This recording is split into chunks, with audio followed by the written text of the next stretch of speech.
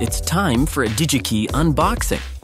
Let's take a look at the ADAQ 4380-4 evaluation board from Analog Devices.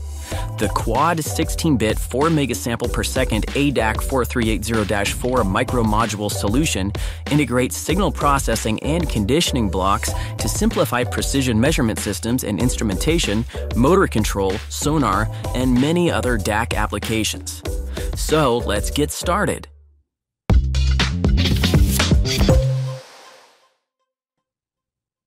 Inside the box, you'll find the evaluation board with SMB connectors and test point hooks for all four differential input pairs.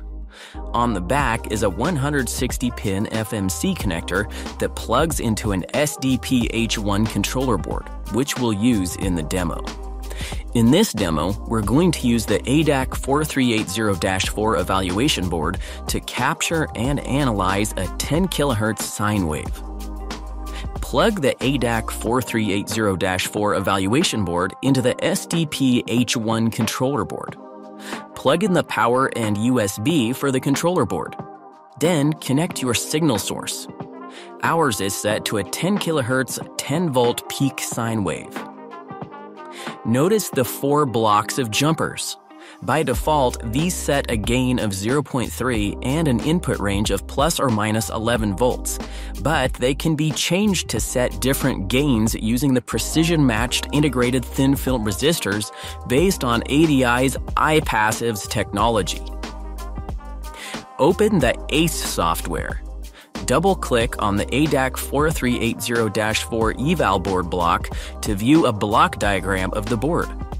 Then double-click on the ADAQ 4380-4 block in the center to see the internal block diagram of the IC. Click on Proceed to Analysis. In the Capture section, change SDO mode to 4-wire and note the sampling frequency changes from 2000 to 4000 kSPS, giving us the maximum sampling rate of the device. Click Run continuously to capture data for a few seconds. Then click Stop Capture.